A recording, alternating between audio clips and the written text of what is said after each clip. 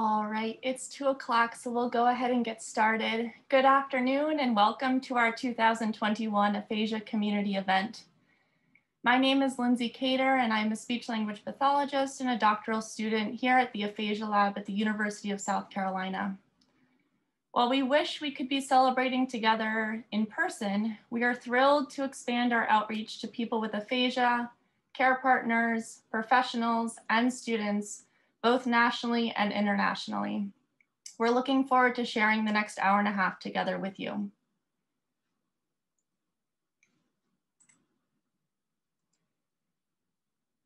We'll get started with a brief welcome from the director of the Aphasia Lab, Dr. Julius Fridriksson, to be followed by a presentation by Dr. Debra Meyerson and her husband, Steve Zuckerman, We'll then welcome you all to share questions and answers with the presenters. And we'll close our time together with Play on Words, a performance by our Aphasic Drama Club here at the University of South Carolina.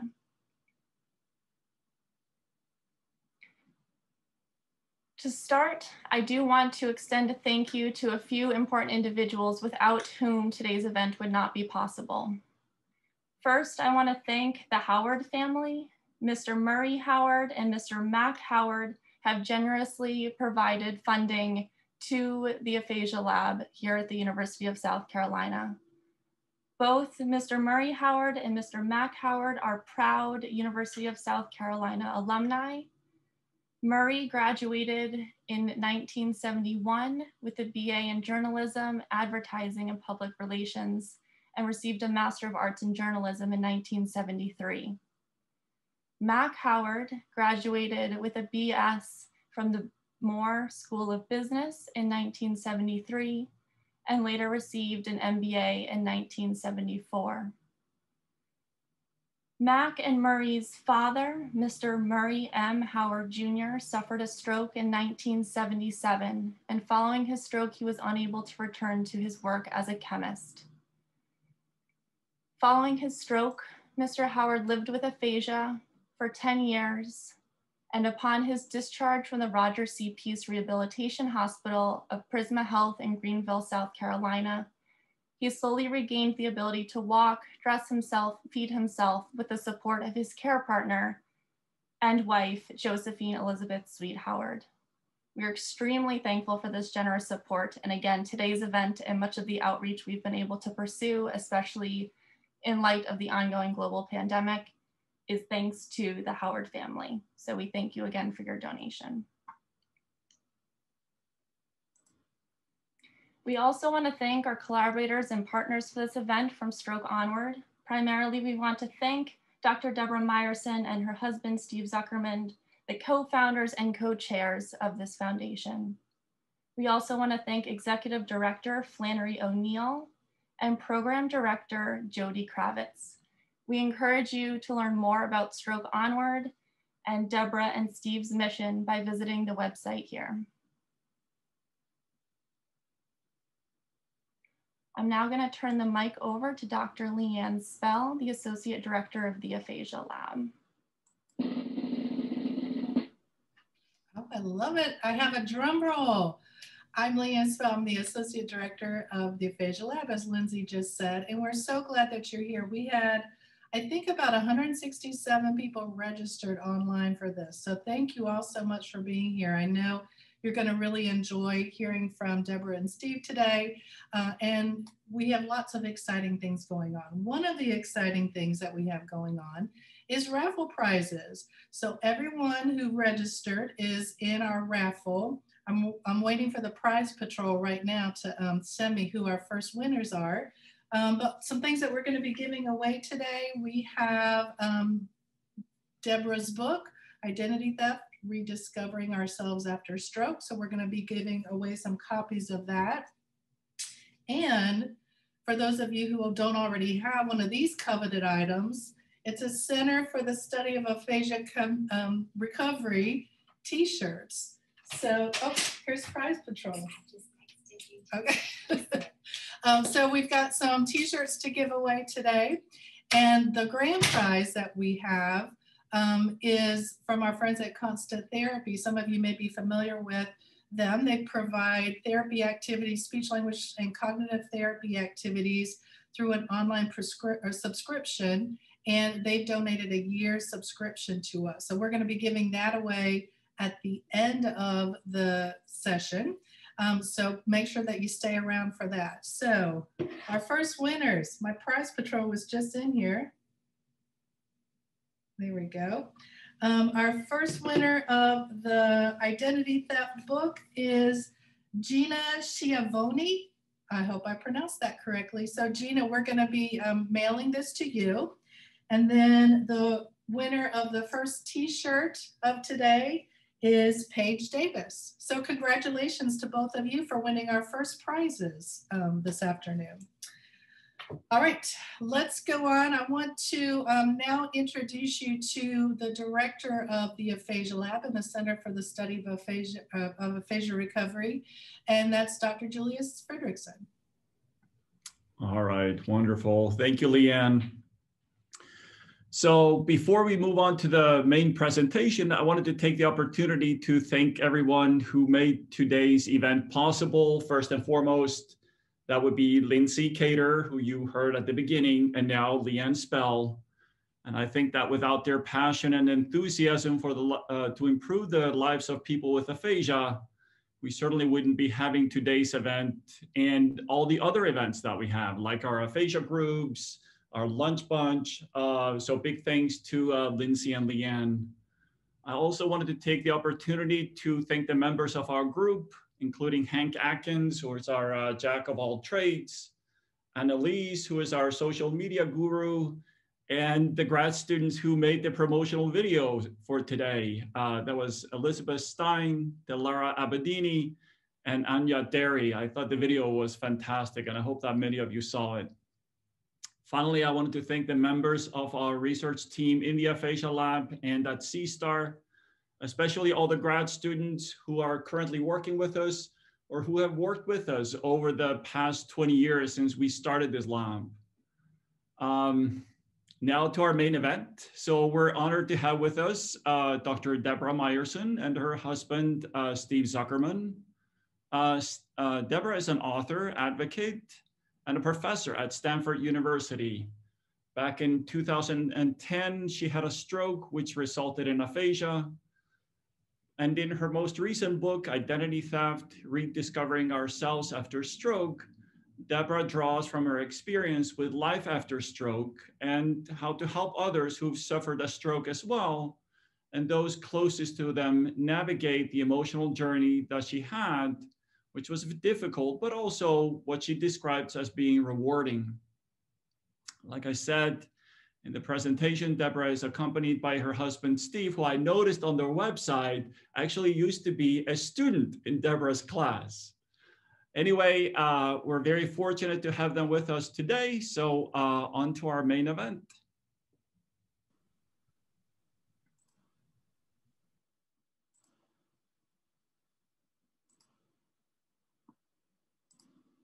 Hi, everyone. Uh, happy to be, be with you. Of course, we wish we were there in person, but glad this is working and look forward to chatting with you after you've seen the recording. My name is Debra Meyerson. In 2009, I began lectures at Stanford like this confident, strong, and casual.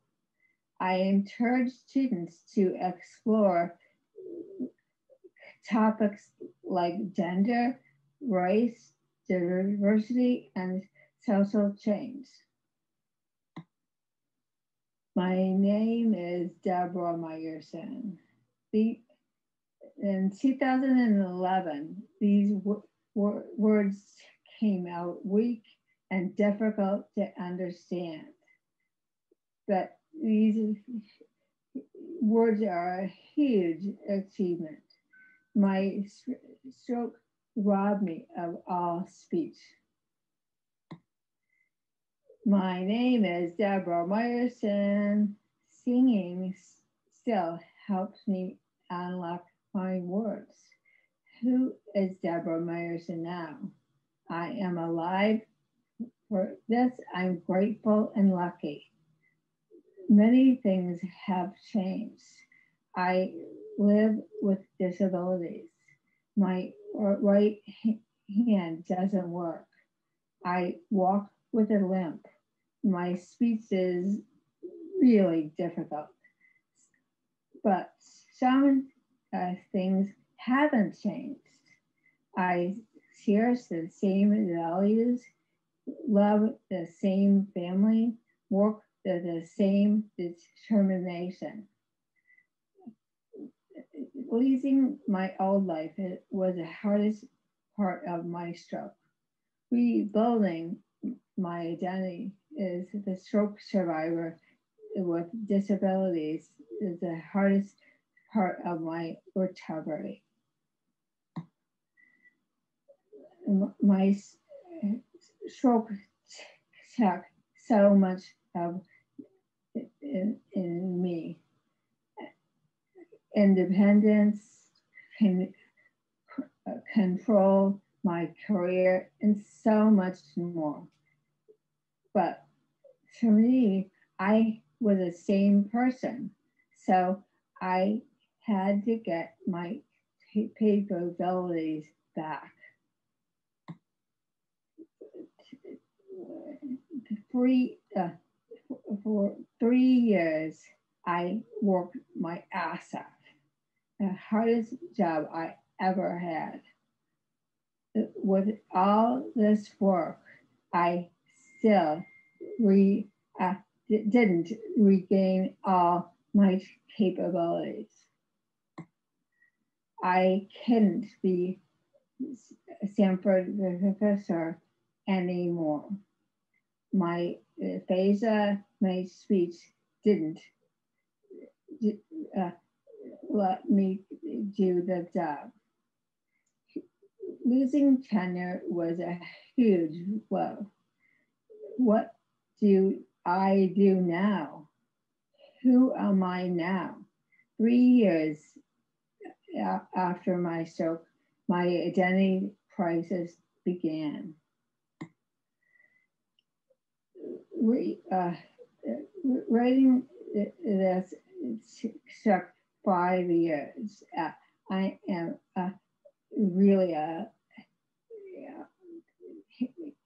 yeah, had a lot of help. My personal journey to make sense of my new life. Even more, my new purpose to help others. This is not just my story will will help uh, will have help.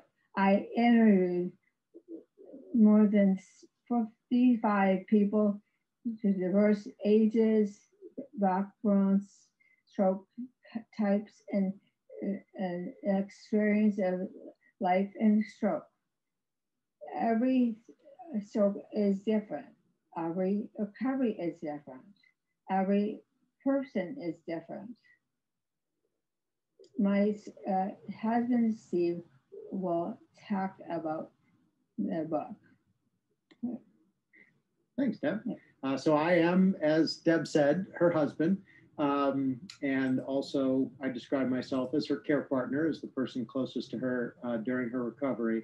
Um, you know, deciding to write the book was one thing, um, but actually writing it with severe aphasia is very different.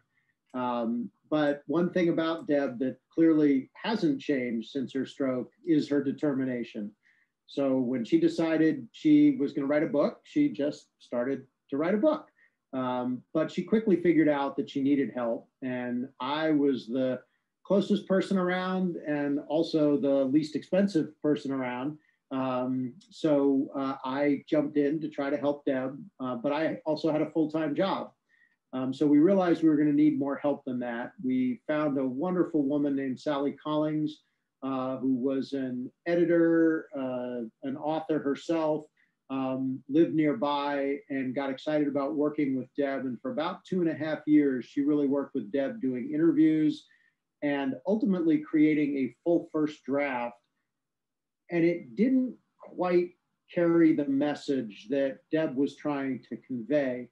Um, our kids, we are we are blessed with three great kids, all of whom are adults now, 25 to 31, um, and they were about five years younger when this process started. Um, and they kind of pitched in and helped along the way. Um, but at that critical point, when we realized that the first draft didn't quite carry the message, our son Danny um, was between jobs and offered to step in and really help out and help Deb restructure the book and restructure the message. And, and he is uh, the, the named co-author on the book. Um, I'm going to share just a few more things about the book. Um, the first, and Deb talked about this, the importance of diversity. Um, we really didn't want this to just be Deb's story, um, partly because Deb's modest and doesn't like to put the attention on herself, but partly because we really wanted a lot of stroke survivors to be able to relate to the stories in the book, and everybody's story is different. Um, just by way of an example, there are 25 survivors included in the book. Um, just a, a, a, few of them. Mark lived in St. Louis. Um, he was 58 when he had his stroke. Um, his story was particularly uh, just emotionally draining. His, his son had been murdered and he had his stroke just a, about three or four days after that. Um, he was lucky that with rehab, he was able to go back to his work as an accountant. So he was one of the survivors that was able to go back to more of his pre stroke life than some of the others.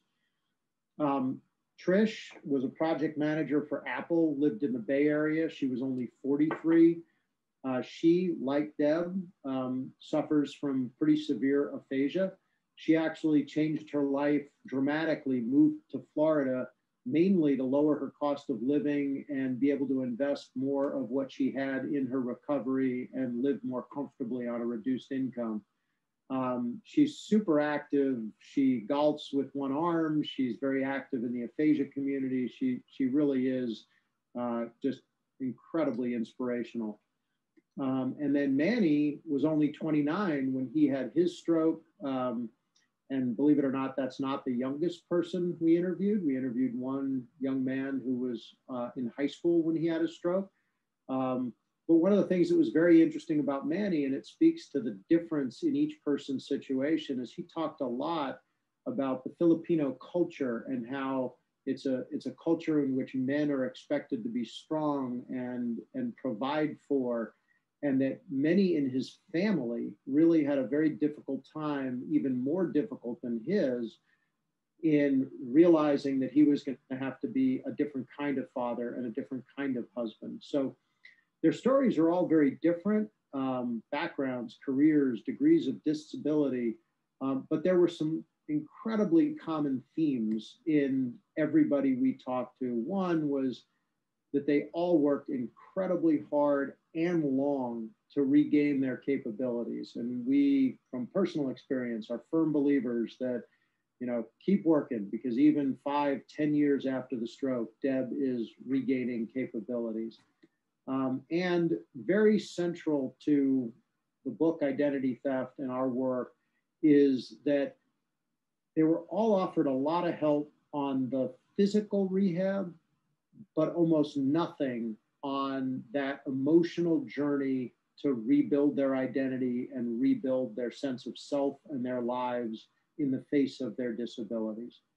Um, the last thing I'll, I'll talk about specifically about the book is Maslow's hierarchy of needs. And this was something um, that we used to frame a lot of our thinking, and, and it really helped frame Deb's journey that, um, and this was not developed for survivors or for people suffering any kind of trauma. This was something developed in the 1940s by a social scientist who was really trying to describe what motivates people um, and that people are first motivated to meet their basic needs. You know, you need to survive.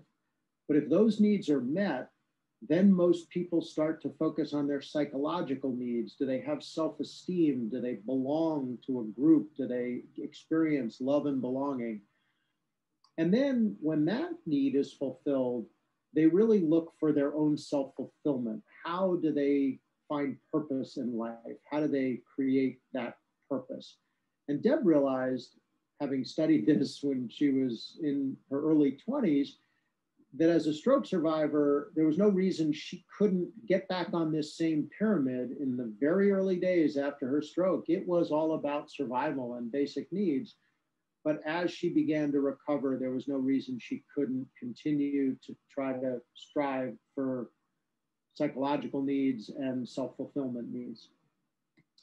Um, one of the other things about the book that, that was really important to Deb and really important to us um, was that it's not just the survivor that's affected, so is the family. And we, the, the title of chapter nine in the book is Stroke is a Family Illness. We borrowed that phrase uh, from a woman named Leora Cherney, who's become a very close colleague. Um, she, among other things, she developed the intensive aphasia program at the Shirley Ryan Ability Lab. Um, and this, that was the title of the very first slide she gave to family members who accompanied stroke survivors to their program. And that notion rang so true for us. And we talk a lot as a family about, and we had to in our journey talk about how it was affecting all of us. And our three kids um, were really wonderful in their processing of this journey along with us. And I tear up all the time when I even start to talk about chapter nine, which begins with a story of a talk our daughter gave when she was in her last year of high school, which was two years after Deb's stroke, in which she really shared with her whole school community the journey that she went through. First, really thinking she had to be strong and Deb was her role model, and strong meant I didn't need help and I could do it and I could gut it out. She was an athlete, so she was used to that kind of hard work.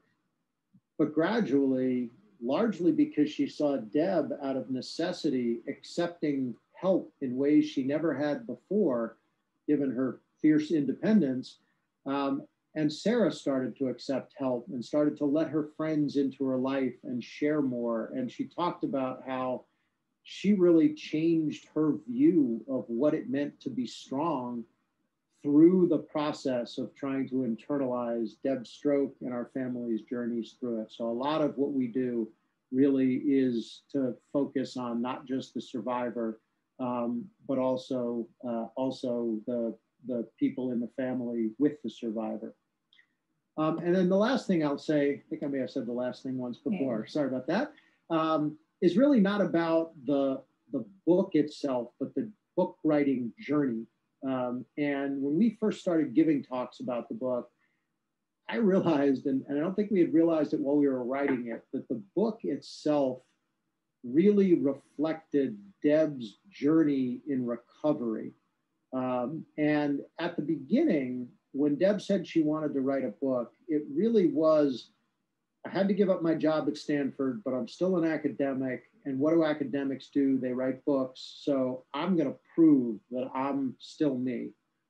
But as she got into the book writing process, she very quickly saw, as she said earlier, that the book writing process was a way for her to go through her own journey to, to take that emotional journey in recovery. And pretty quickly, she realized, and we talked about the fact that nobody told us we had to go on that journey. Nobody really gave us resources to help us on that journey. And that that was true for pretty much all the other people we had interviewed. And so this book really was an opportunity to help others, to create a resource that might help others. And there were several times during the book writing process. I mean, it was actually an incredibly gutsy thing for Deb to write this book because it it put her in the face with her most frustrating disability every single day. And there were many times when she just threw up her hands and said, I'm done. I, I don't care. I'm not finishing this book. but it was refocusing on that purpose that, ah, damn it, there are people out there who, like me, didn't get any help and they need it. And that really rings to a really important part of our message, which is in recovery, finding a purpose. And, and it doesn't have to be professional, it can be with your family, but finding purpose is an incredibly powerful motivator. So, Deb said earlier that understanding identity was really at the core of her journey, uh, as it was for our whole family. So we're going to go a little deeper into that into that journey. Um, the if we were doing this live, we'd probably do this as a little bit of an exercise. We we try to get people to think about this question of who are you? And we would ask you how you describe yourself. And if we were in a room, we'd ask people to pair up with one or two people near them and just talk about that. How do you describe yourself in 30 seconds?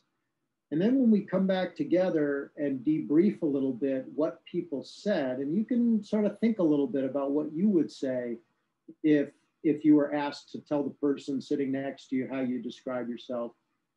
We then challenge people a little bit.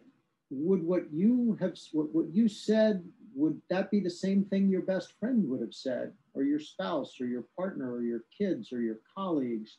Do other people see you the same way you see yourself? And would you have said the same thing 10 years earlier or 25 years earlier or for some a little further in age like us, 40 years earlier. And similarly, did you describe yourself by what you do, your career, maybe your role as a parent? Did you describe by how you act or your values, what you care most about? And so that hopefully gets you thinking a little bit. And now I'm going to pass it back to Deb, who did have to give up her faculty position uh, but that doesn't mean she doesn't still like to teach. So Deb, take it away. Thank you.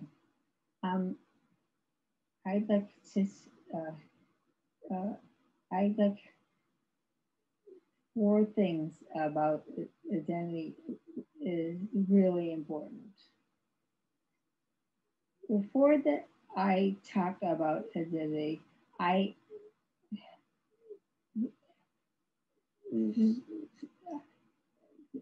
want to see it as process of preparing to to talk like this.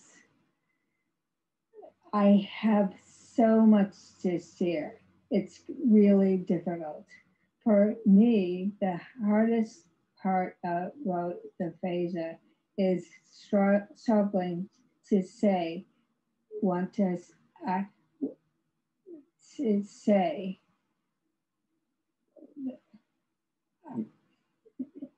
and work and take a little drink. Yeah. Uh, to uh, to share, we write the content. Steve helps. I practice for hours to make it speakable. Even then, I can't say all that I want to say. Steve Sears the most complicated materials. I I uh, ha, am uh, so glad he can that I get mad at him a lot when we work together. I knew it's not mad at me, him, but mad at my situation. This isn't life now, but I won't let my aphasia seal my voice. Uh, like, like she said, having a purpose and meaning is the best way to fight through my frustrations. So here I go. Let's talk about identities. We all have many identities. I had to remember that I am more than a job at Stanford. I'm a mother, wife, daughter, and friend.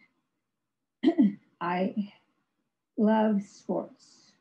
I had to think about all the things that makes me me. Denny's changed. We are changing all the time. Right before the stroke, I was not the same person I was five years before. My stroke changed me faster, but I am changing anyway. The identity is stroke, stroke, stroke, social construct. We are who uh, uh are in the context of relationships. My relationships, my family and friends are key in rebuilding my life. Uh, most important, Danny is the choice. Uh, instead of asking who I, I am now, ask who do you want to be now? And my, her, your sense of self, her, your identity is profoundly affected of your situation. Uh, your gender, race, ethnicity, and more. Back to you. So um, I mentioned um, purpose, and when we got to the end of writing the book, um, we realized that, that that couldn't be the end and that there was more to do. And so uh, Deb and I decided to start a nonprofit to really push this work around identity and rebuilding identity and the kind of resources that might be available for stroke survivors now and in the future uh, to help with that part of recovery. And if the technology works, we're going to play a little video that just introduces, uh, you'll see some familiar slides, but introduces the work we're now doing through an organization called Stroke Onward that we created about a year and a half ago. And let's see if this works. In 2010, Deborah Meyerson was a professor at Stanford University, working on issues like gender, diversity, and identity. I'm really happy to be here. I actually, I spoke at a Net Impact conference. She was also a happily married mother of three, healthy, fit, and athletic. Then, a severe stroke nearly killed her leaving her paralyzed on the right side and with no speech at all.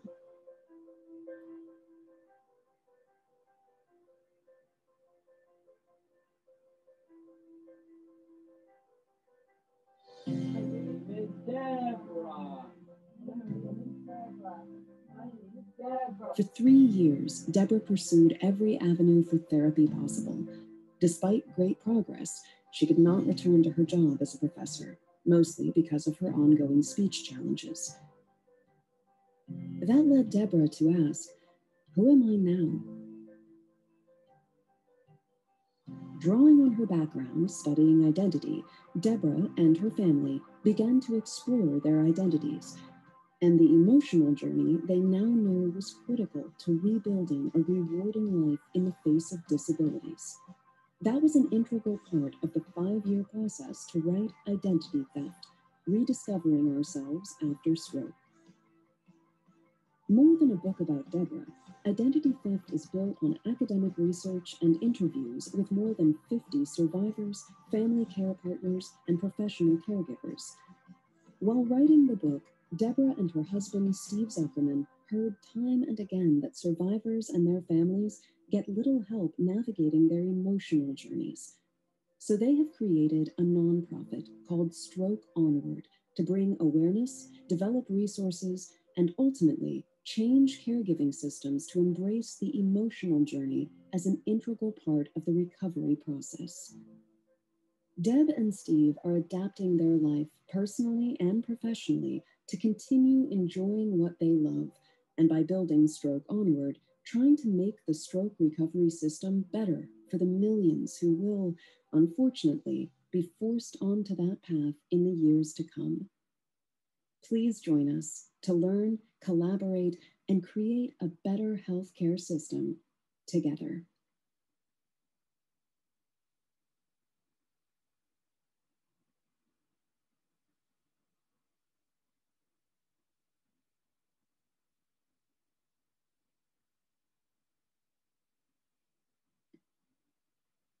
So that was um, uh, a little video that uh, a group for whom we did a kind of a corporate talk uh, helped us produce. Um, and just in the interest of time, I'm not going to spend much time on these slides, but just super quickly, our, our focus with Stroke Onward is really threefold. One is to build awareness, um, just so that people know this is an important issue in the recovery. And one of the most significant things we've got going is we were invited by the American Stroke Association to write a, I never know if it's semi-monthly or bi-monthly, but every two months, a column for their Stroke Connection newsletter and website to really talk about issues related to this emotional journey and rebuilding identity. We've, we've written three so far, and uh, we'll have another one coming out in about a month. Um, a second uh, real focus for us is, is actually developing resources that can be helpful. One of the first things we've been working on is to create book discussion guides for the book Identity Theft so that different groups can meet and talk about it. Just trying to make it easier for people to talk about this. So we've really got five different guides in, in the works. They'll all be similar, but tailored to different groups. Um, probably the hardest is the one for survivors with aphasia, where communication is a challenge. Um, and we've had some wonderful partners at, at BU and Cal State East Bay working with us. Uh, they run intensive aphasia programs working with us to develop that. Um, uh, uh, one for other survivors, one specifically for care partner groups, one for professional caregivers, and then sort of a general population book club. We call it the, the Oprah version. Um, and we're also working, we've noticed that in a lot of stroke recovery guides that are given out by hospitals, um, the American Stroke Association, and others, that there really isn't much in there about this. There's talk of the physical rehab, there's talk of the navigating the world, there's talk of the medical side. Um, there is talk of, you know, if people are clinically depressed, getting help. But for that large group of people who aren't clinically depressed, but just know they've got to work on their emotional journey. There's really not much in there. So we're working on some stuff that we might be able to um, get added. And then the third area is influencing the caregiving approach. We really hope that we can make just a little dent so that a stroke survivor 10 or 15 years from now and their families experience a very different environment in the healthcare system um, and so we're working on a couple things, including some curriculum development. Would it help to put more about this topic in the training curriculum for uh, people who are studying to be speech therapists, physical therapists, occupational therapists, neurologists, etc. Um, so that's some of the work we're doing. And I'm going to pass it back to Deb to finish this up, and then we'll get out of the recorded presentation and hopefully have a time to chat with all of you. People ask me what, helps me most. Uh, these help me a lot. Look forward, but take time to accept your uh, your uh, my loss. Focus on small wins. They add up. We uh, they help me rebuild, which probably means focusing on the most important things in life, not regaining my old life. I can always grow as a person. F focus on meaning and purpose. Tracy is support in my life. My husband, uh, uh, family, good friends. For some, it's religion. It helps, uh, whatever helps me you most. And most important thing, anything, is uh, uh, uh really, uh, really uh, realizing my emotional journey, rebuilding identity is really important. My journey is full of challenges. I'm building a different kind of career. I have new limits, but I am again an active mother, partner, and athlete. I am still rebuilding my identity and rebuilding my life. So, who am I now? I'm a stroke survivor. I get frustrated, really frustrated, but I'm lucky to be alive. I have great support, but I, I, I am building a new life and I have purpose again. I am committed to, uh, to help uh, other survivors and peer partners. To be clear, we are not figured it out. We, we are still on the journey and we will be uh, with uh, life. Thank you. Thanks for having us, and we look forward to talking about your questions. Thank you, Deb and Steve. We are now going to um, go into our question and answer period. And I would suggest, I, I, see a lot of our participants and students on, so I, I would bet that you are like them and that you've become a Zoom professional over this past year. But if you don't know about how to get speaker view, that's what I would recommend you go into now because I'm going to be asking Deborah and Steve some questions that were submitted through registration. We had some great questions. So if you'd like to be able to see Deb and Steve a lot better, go up into the right hand corner of your screen and click on view and then click on speaker. And then you're going to be able to see um, whoever's speaking at the time. So let's see, what else did I want to say? Also, I, uh, we didn't mention this at the beginning. We, like I said, we had a lot of great questions at the beginning of um, when with pre-registration. So Deborah and Steve are going to answer those first. If you'd like to ask a question, please um, type it in the chat room. And if we have time, um, we'll get we'll get to those at the end. So we want to try to get answer as many questions as possible, and we're going to start with the ones that were submitted previously. So the first one, and I'm just going to read these, um, Deb and Steve, because we didn't want to um, switch back and forth between the slideshow and, and you all. So the first question is, what advice would you give a care partner right after a loved one has a stroke with aphasia?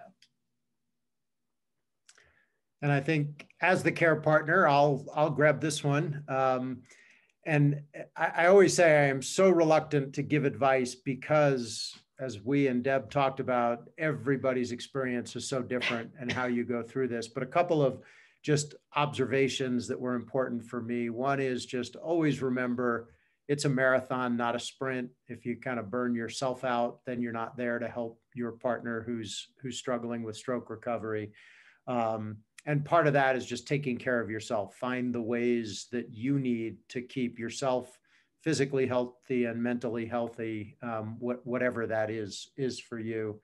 Um, we talked uh, we talk a lot about, or or I talk a lot about something called the ring theory of support, which was introduced by a social scientist. Just that for me, I'm sort of a natural pleaser and I want to help everyone. So often the people around who were kind of I'd want to help them. And I, I realized by thinking about this idea of circles, Deb in the middle, me in the next ring, maybe our kids and Deb's mom in the next ring, but if you always focus your energy on helping the people further inside the circle, um, that's really what you need to do. And, and I think that was super helpful for me because it gave me permission that if somebody was sort of looking for my help other than Deb, I could say no, I, have got to focus on Deb, and that I could ask for help from anybody who was in a ring outside of me. So that was kind of something that was super helpful for me. Um, another is just that, you know, on this whole topic of the identity journey, I had to go through that and still do as well. My it's not just that my life changed because I have to help Deb. It's my identity changes as a care partner for someone with stroke and how much I embrace that really affected kind of how I navigated through, you know, the the 10 years since since Deb's stroke. Um, we've been using the phrase care partner and I think um, that was kind of a conscious choice on our part. And I think um, our colleague Jody was the first to kind of identify that, that that really says a lot that, you know, caregiver feels like a very one-way term. Um, and our life was built as a partnership and we wanted that to continue. And so in this process, we really want to think of, of I want to think of myself as a care partner, not a caregiver. Um, and the last thing I'll share is just, um, I came up with what I call the six magic words, and I kind of say shame on me that it took me three years to figure them out. Um, but sometimes you don't know when to help. And sometimes Deb would get mad at me because I wasn't helping soon enough and she was struggling. And other times I'd jump in to help and she'd get mad at me because she wanted to do it herself. Um, and so just by like using the words, would you like me to help? Um, just saved us so many fights and so much aggravation. So I, I throw that out there as, a, as an idea others might use. Very nice. Great advice. All right. I think the next one might be uh, directed more at Deb. How long after your stroke was it before you got the idea to write the book? Um, uh, three and a half years. Um, I am uh, the uh, uh, when I couldn't be back to the job at Stanford. Mm-hmm. It's really writing a book is I can do. N- not, yeah. It was a natural progression, right? From from what yeah, you did yeah. before. Yeah. Okay. Here's the next question. Were there, this kind of relates to that last one, were there any roadblocks that occurred while writing your book? Yes, really a lot. um, uh, tons of roadblocks. I needed so much help. I hated it a lot. I hated it uh, so much. I uh, didn't do myself. Uh, so I am, uh, uh I am uh, not, but I, I almost stopped many times. I really, I am really frustrated, but but uh, thinking uh, it helps uh, other people. That's great. That's great. Thank you. All right, the next question um, is a little bit longer, but I want to read it to you so you can hear the, the whole thing. This person wrote, I had two mini strokes on September 13, 2016, while I was working at the Olympic Games in Rio. After four and a half years, I'm getting better. For my next adventure, I want to be a motivational speaker. What advice do you have, and where can I find small groups and conferences to present?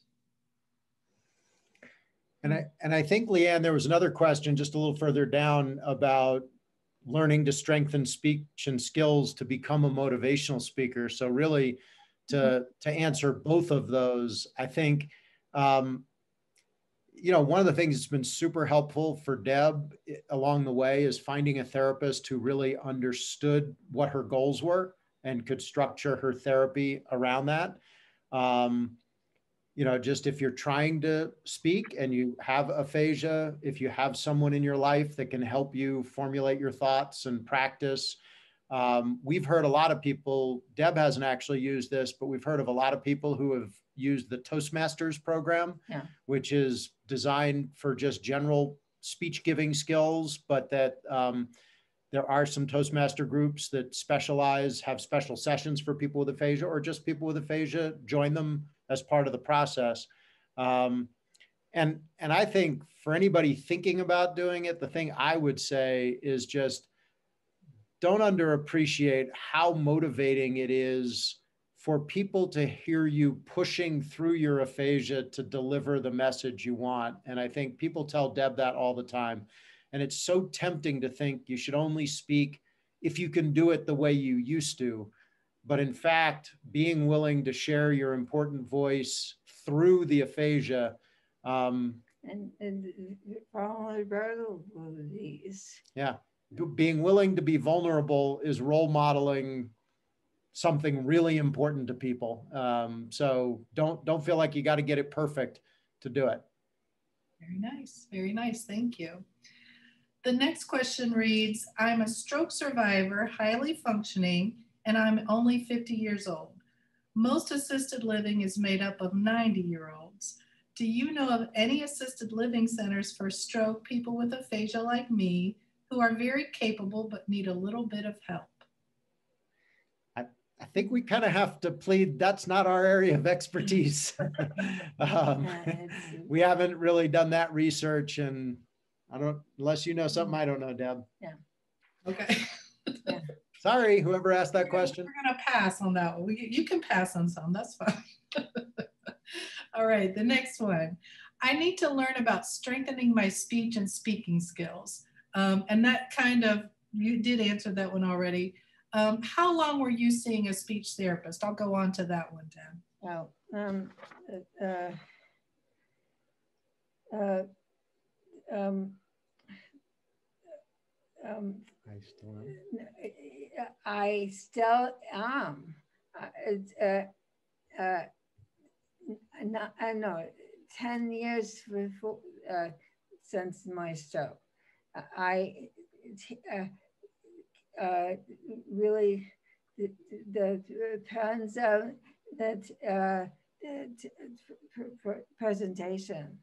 Um, I like uh, uh, the uh, first, the uh, the uh, uh, the the hospital no the the uh, first the the hospital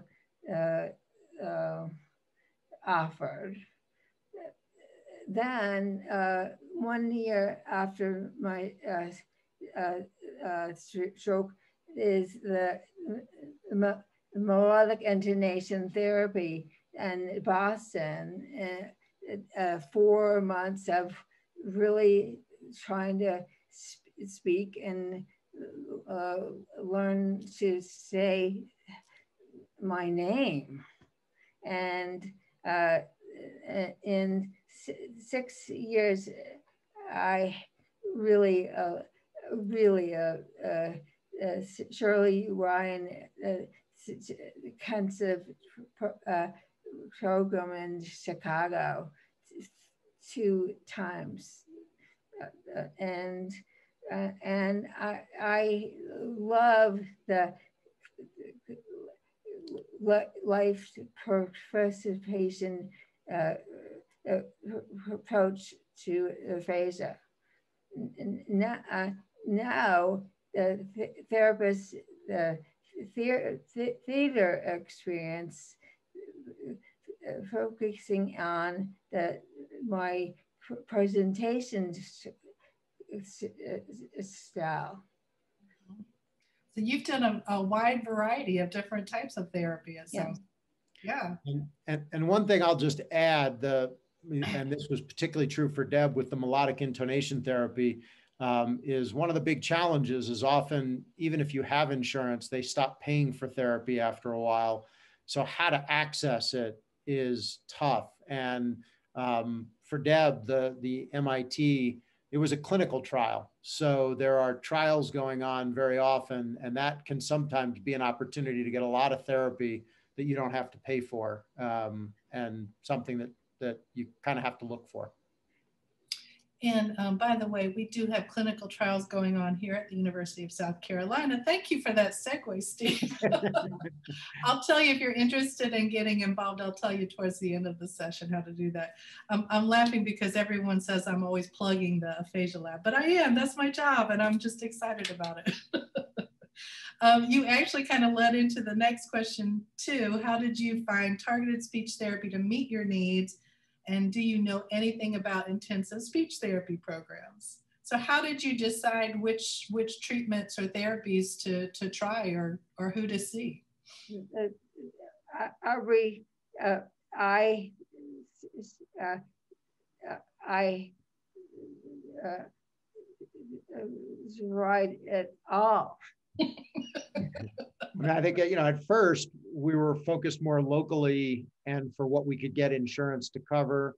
Um, the melodic intonation therapy was a great opportunity. We happened to have one of Deb's closest friends in Boston that she could live with um, to do that. Um, the intensive aphasia programs, and you all know better than we do, there are a bunch of them around the country.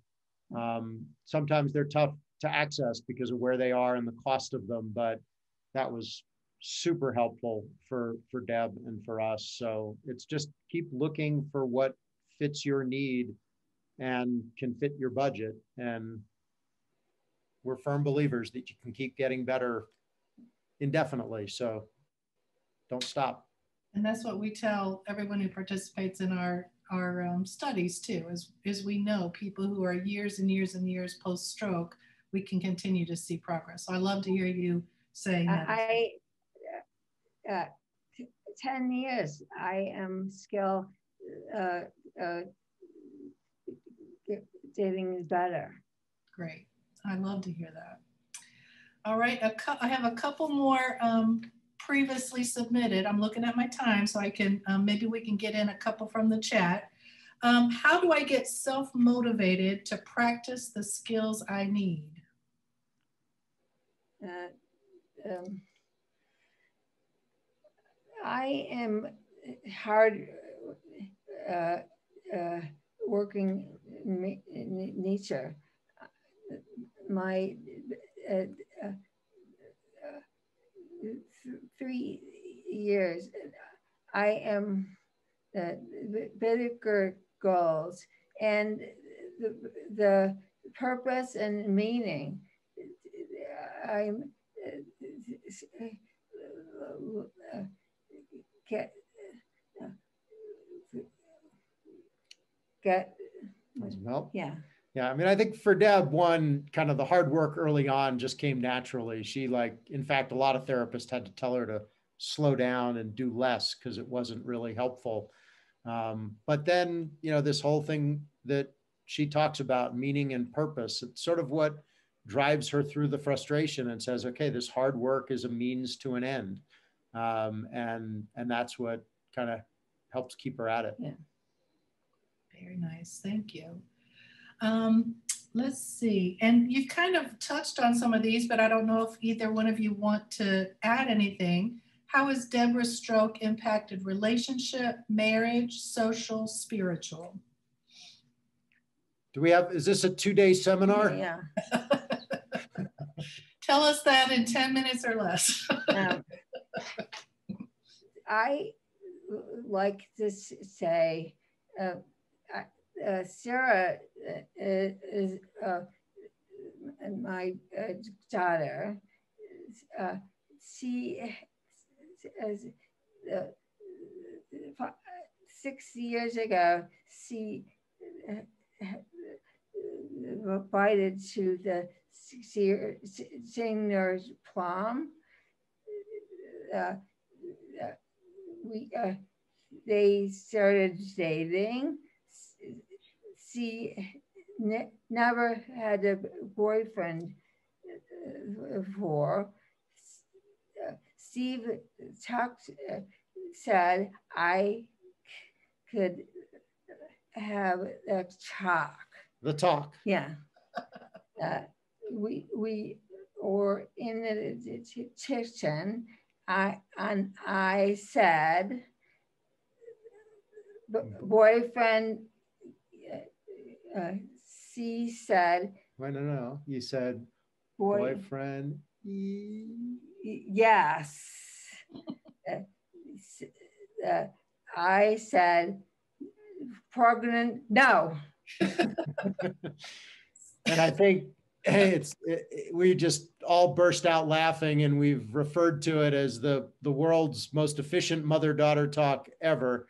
And in fact a number of our friends borrowed it even though they didn't have any speech issues. And i think it really is just a story we tell because you know for two years deb felt like she wasn't being a mother um, because she was fighting for her life and getting better and this was really the first place where she sort of regained that role of mother. And it was very different than the way she had been a mother before. And I think when we think about relationships, that's one of the things. It's like if you really understand what's important about the relationship, but give yourself permission to say, we're going to find that in different ways than we used to. There are very few relationships that you can't regain and rebuild just differently. Um, and we just love that story.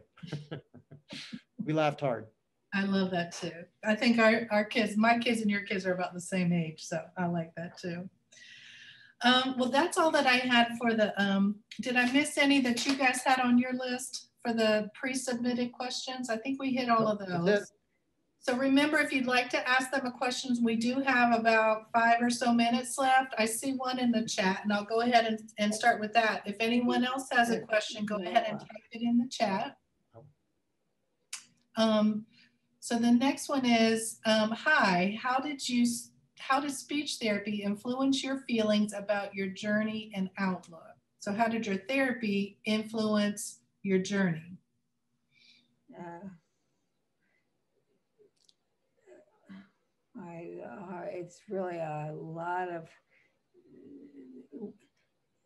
hard work.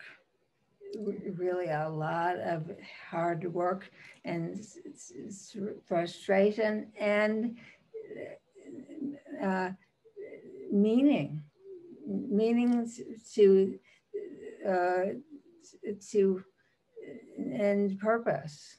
Mm -hmm. And I, and I think for us, speech therapists in particular have influenced our thinking and our journey a lot because as a survivor with aphasia, we naturally we stayed connected to speech therapists in ways that we might not stay connected to other people in the healthcare profession. And so we were fortunate to meet and work with a lot of speech therapists who both were very open to talking to us about this emotional journey path and some people who really just internally understood that they may not have used those words but kind of helped us along that path. So um, it's been super helpful. And uh, uh, laura no, leora? Yeah, and uh, uh, uh, liz and really a lot and ellen and really, really a lot of. some really good therapists.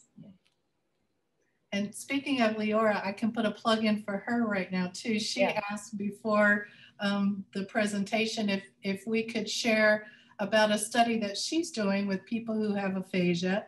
Um, she's doing a survey study. She's based at the Shirley Ryan AbilityLab in um, Chicago, as uh, Steve mentioned earlier. And if you go to our Facebook page, which I'll share with you at the end of this session as well, um, we have a link to her study. If, if um, you're interested, if you're a person with aphasia and you would like to participate in her study, she would appreciate it.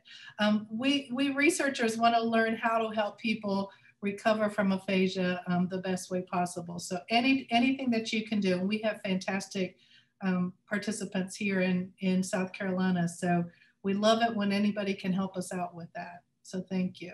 All right, I'm going to do one more question. I have one more question on the chat, and then we're going to let you guys rest a little bit. And then we, I think we've got our, our drama club is waiting in the winds, in the wings, sorry. All right, the last question is, I speak fairly well, but can't remember words or I say wrong words. Is this aphasia? Yes. We should let the experts answer that question. I think everybody who has aphasia who's listening right now will say, yep, that sounds like aphasia to me.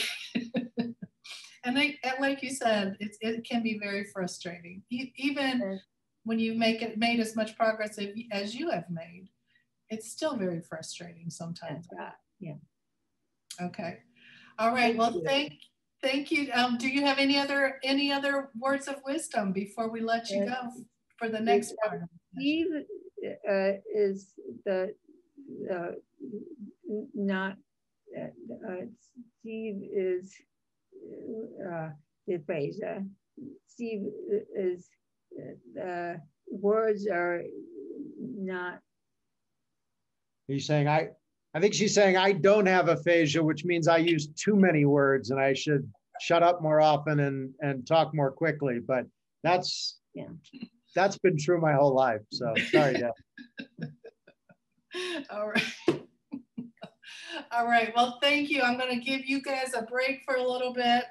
Um, and, and they're still going to be on. So um, we're going to wrap up here at the end. So we will, we'll thank them at the end. But I, I want to thank you very much for, for doing the pre-recorded talk for us and also for the Q&A. We really enjoyed thank it. Thank you. Okay.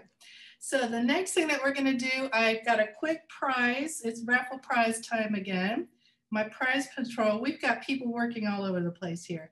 Our prize patrol for gave me the names just now. And the winner of the next t-shirt is Connie Wheatley. And the winner of the copy of the book for identity theft, um, rediscovering ourselves after stroke is James Jett. So congrat- congratulations to both of them for the, the door prize. All right, so I'm now going to turn it over to Dirk den Ouden and Peter Duffy. the, the book is, Wait. The, the, the book is uh, uh, uh, audible. Oh, it's an Audible now too. Thank you for mentioning that. Yeah, so you can you can listen to it or get it in hard copy as well. Thanks. So thank you, Leigh Ann, and thank you, Debra and Steve, for the talk. Um, I'm really happy to introduce our uh, our drama uh, group. Um, we started this uh, two years ago. Uh, we did a performance then with um, uh, actors Marcus and, and Buffy and Charles, and they are still part of the group as well. And I have to say, this uh, as a researcher, for me, this is one of the highlights in my week. We have continued to uh, practice and rehearse and do uh, drama exercises led by Dr. Peter Duffy, who's a colleague um, in the Department of Theater and Dance. Um, I just sent everybody off to a breakout room and got them back so that they could quickly warm up. And what I'm going to do um, uh, after this is uh, to let Peter take over and, and, and, and the group, and they are going to show you, give you an insight into the kind of exercises that we do as a group uh, every week. So we meet every Wednesday. Uh, now on Zoom, we're really hoping to get back to uh, in-person uh, exercises and practices and rehearsals again, but for now we're just meeting on, on Zoom. Um, and we're going to show you, uh, we're going to give you a taste of uh, what we typically do. Before I do that, if someone can move the slide to the next one, um, I want to uh, ask the people who are not in the drama group. So if you're not one of the actors, uh, then it's it help it's helpful if you turn off your video for now so that we can if you if you turn your view to gallery view that we can see all the actors. So that means if you go again up right on most screens where you see view um, and then instead of speaker view if you now click on gallery view then you should be able to see all the uh, actors in the group. So actors please activate your cams and non-actors, please turn off your videos. And I present to you with much pleasure, Play on Words, an aphasic drama group. Thank you, Dirk. Um, so I've had the pleasure of working with um, this group for, like Dirk said, the last two years. And we decided that we would share a couple of exercises that we do with you. Um, the first year we worked together and we created a, a an hour long play based on the experiences that the the uh, participants had and what they wanted to let the world know about what their experience with aphasia is and what they kind of wanted to teach the world about what life with aphasia was like and um, what they wanted us to understand about that. Um, and um, so that was the first year's project. And this year we've just been um, having fun trying to figure out how to do this work through Zoom. Um, so we're going to do a small example where uh, we're going to do an object transformation where mm-hmm. everyone uh, in the group has a pen. And uh, we're going to just pass it around, and the pen has to become something else. So, in yeah. in the group. Yes in the group. So i'm going to say i'm i'm going to like last time i'll send my object to marcus okay? So. Nice. What a looking guy here, here it is marcus.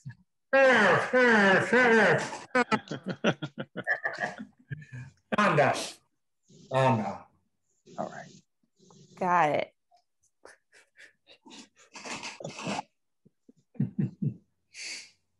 Mike.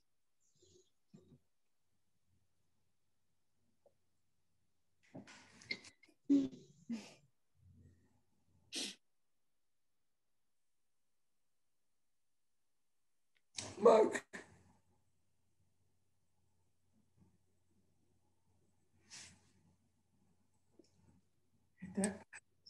Oh.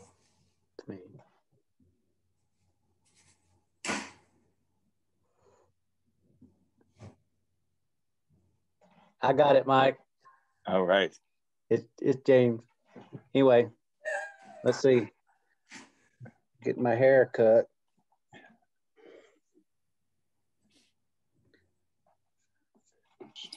All right, there you go. There go, Vant. I'm gonna comb my beard a little bit with my comb with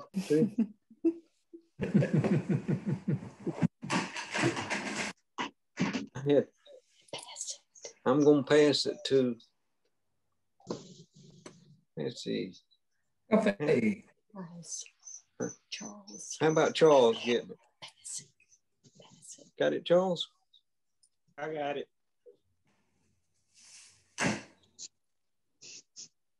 It doesn't work. I, I, I, you get the, the apostrophe.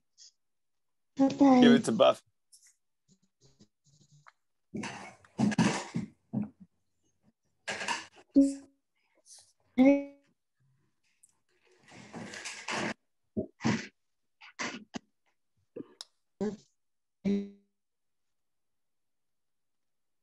Oh, Buffy, I think your connection is is gone. there we go.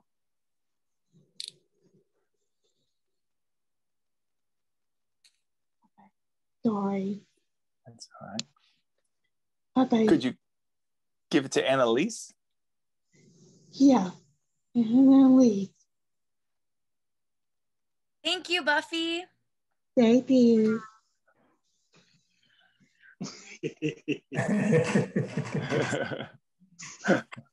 I'll give it back to you, Peter. All right, great. Thank you very much. Excellent. Um, and another thing that we do is we work on um, improv skills. And yesterday in our session, we had an improv where um, people, we were on a plane and we had to figure out um, what our relationship to everyone was who was in the scene with us. And so we're going to have two two different scenes about being on a plane. Um, and in one group, we're going to have Marcus, Mike, Van, and Annalise. And in the other group, we'll have Charles, James, Buffy, and Anya. All right. So we'll we'll uh, we'll we'll move over to uh, to coach class on the on on the plane. So can we have uh, could we have Marcus, Mike, Van, and Annalise go first? So Okay. we remember we have to focus on relationship and place. All right. All right. Hey, is there a first class uh, uh, seat? There's no first class. There's no first class sheet in there. well, yes. Hey, Whoa, whoa. You kind of lead. You, you close to me. Too close. Our aircraft does not have a first class sheet because everybody operates the same way. How do you, how do you, how do you get here in air, this airplane? How do you get this airplane? That's not a problem. Is? All you, do- all you gotta do is pay the bill and you get on. It's bumpy. Oh, yeah, it's bumpy. Driving this. Hey, can I get it off? Can I get it off? Yes. Okay. Okay, okay, okay, okay, okay, okay. Parachute. Oh, no, no. Marcus, here's a parachute. Oh, thank you. Oh, gosh. I need that. It was so small in that plane, we had to get off. Oh, no, me too. Excellent. Well done, everybody. Thank you. Uh, and for our next uh, for our next group, we're going to have Charles, James, Buffy, and Anya to see what situation they have on the plane.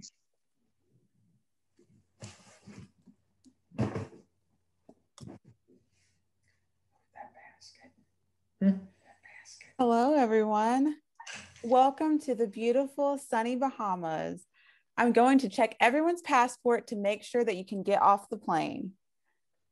Excuse me, sir. Is your name Charles? Yes, here you go. Thank you. Thank you. Check your passport. Looks great. Thank you. Um, and you, sir, could I see your passport, please? Is it James? Yes, that's me. Could I see I your got first class. I got first class. Oh, you're in first class. Great. Yes. Wonderful. Could I see your passport, please? Uh, let me see. I got the I got my car on there on my phone. Does that work?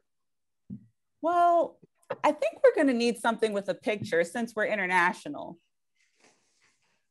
My picture. Can't see my picture right here. I that could uh, work. Yeah, well, I'm selfie. Can you see my selfie? you could. You could take you could take a small picture. I mean, we could make you a passport. Okay. Oh, I got one. I got I found it. Oh, perfect. Even Yeah. better. Yeah. Here's here's another quarter too. You can have it. Oh, thank you. Thank you very much. And ma'am, do you have your passport with you?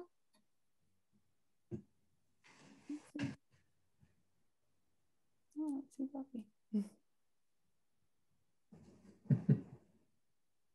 I don't see. Oh, I don't see her. Excuse me. Since I first class, could I get a free free refill? I I guess I guess we could give you a free. I'm refill. first class. Normally I get the free, li- free, li- real. Well, sir, it's supposed to come with one complimentary drink. No, no, first class. You get all of it. We, See, I I'll think we, I got dinner there in a minute. I think we can make an exception.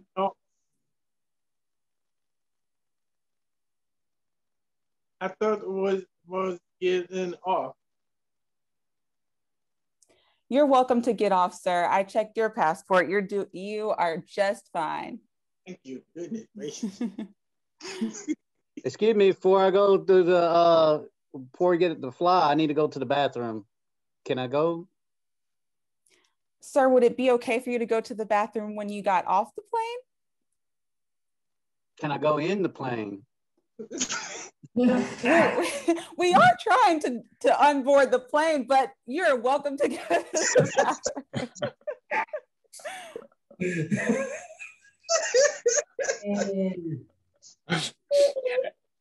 and and maybe that's a good place to leave it.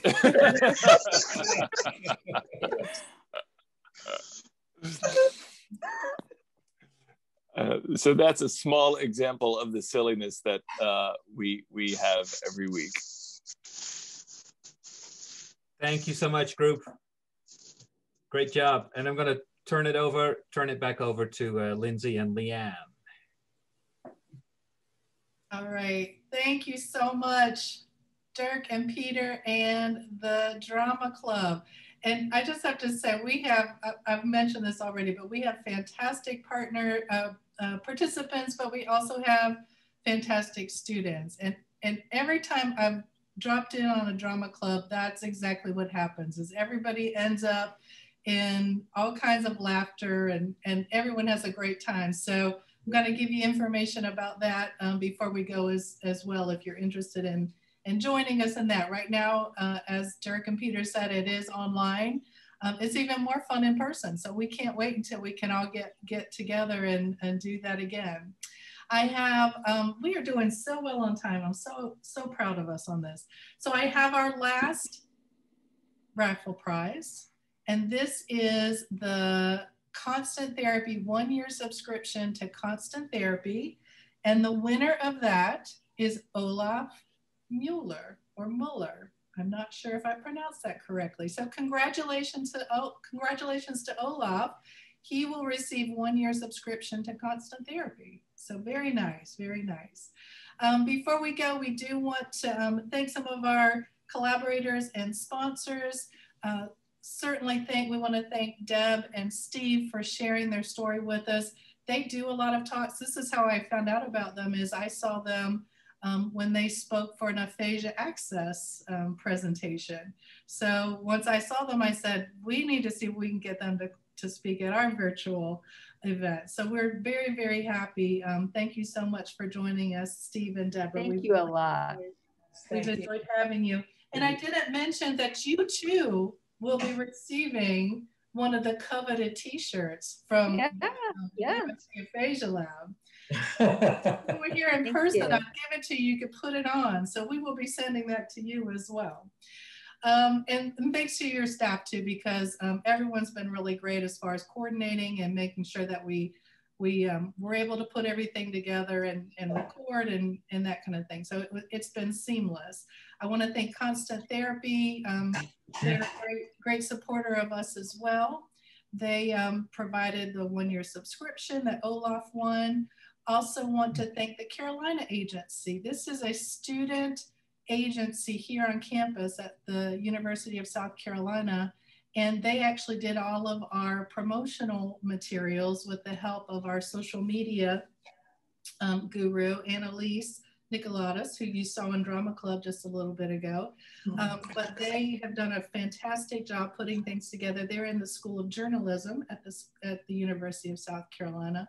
And of course, all of the folks who made this happen at the Aphasia Lab. We've got a great team here and um, students, staff, faculty, everyone kind of pitched in to make this happen and come together. And, and I'm just really proud of, of the group that we have here. So let me tell you how to get involved. Oh, yeah, I want to tell you how to get involved in different things at the University of South Carolina. Aphasia Lab. Um, if you're interested in any resources, news events, um, and I'm going to tell you about Aphasia Ambassador Program a little bit more in depth here in a second, you can go to our website and that um, is on the screen right now, or you can just Google U of SC Aphasia Lab to find us. Um, for the Aphasia Ambassador Program, I do have a couple minutes, so I want to mention that. This is a brand new program that we have. This was initiated by people in our uh, participants in our in our lab who thought it would be nice to be able to talk to someone who's had a stroke and aphasia right after people have had a stroke. So they kind of know what to expect and they have someone to talk to who's already been through it.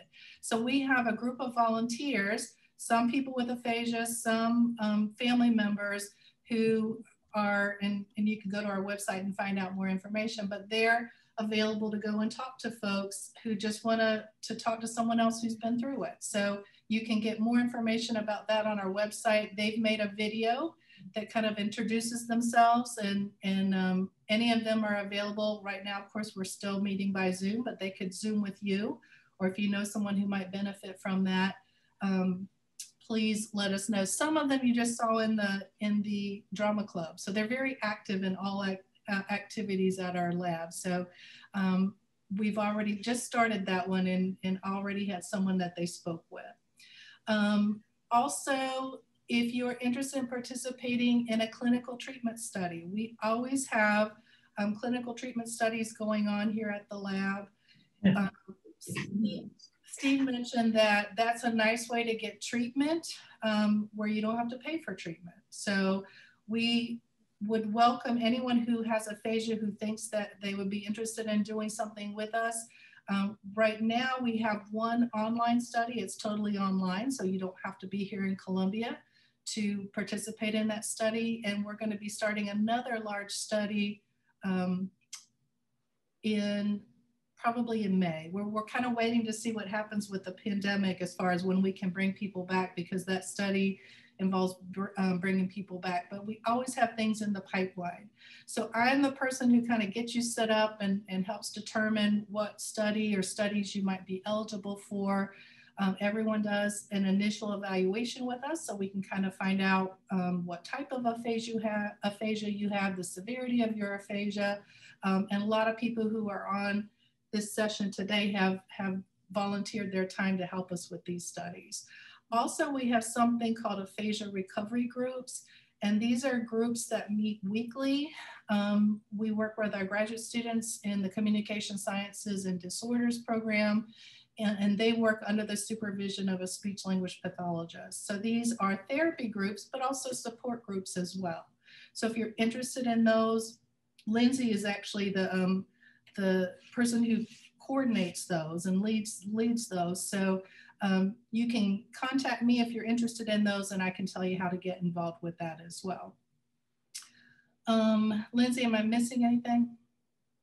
As far as um, we're going to go on to Dirk next, I guess. I, I like to say the, the, social media person. I like to figure out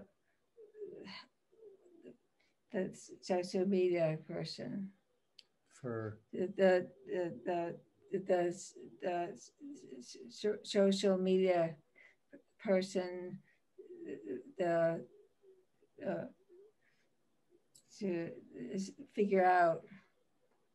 You're talking about in terms of sharing the. No, uh, one the, the, ha, five minutes ago, you said social media. Oh, you're talking about our grad student who does our yeah. social media? Yeah, she's fantastic. We decided we had to get someone much younger than us to yes. do since we don't. I, I, agree. I'd like to suggest uh, uh, call me. yes. Annalise, did you hear that? Deb wants to talk yeah. to you. She's um, Annalise. out. yeah. Annalise is a second year graduate student, so she'll be graduating soon, but she does this on the side. This is actually a business that she has on the side. So Who knows? She might be. I like to. I I got like- her now, but yeah, you better be you better be careful. Leigh Ann's afraid you're going to steal her. No, but but she has been fantastic. She she really has, and and um, we've loved all the stuff that she's done to promote this, but also um, we'll I'll, I'll come back to that in a minute. Let me talk about um, Dirk. If you're interested in um, the aphasia drama group that you just saw them do the exercises, please contact um, Dirk den Ouden. He's also the one who runs our C-STAR lecture series. Typically, the lecture series is more research-based, um, but we like to have one that's geared more towards therapists and people with aphasia and their family members. Um, so that's why we have the event today. So Dirk is your person to contact about those. And then finally, in regards to social media, um, I want to say if you look in the chat, if you do not do um, Facebook, like Deb and Steve said, um, they put the link to Leo, Leora Cherney's um, survey in the chat room. So in case you, you don't do Facebook, and I know a lot of people don't, the chat, uh, look in the chat room when that link is there.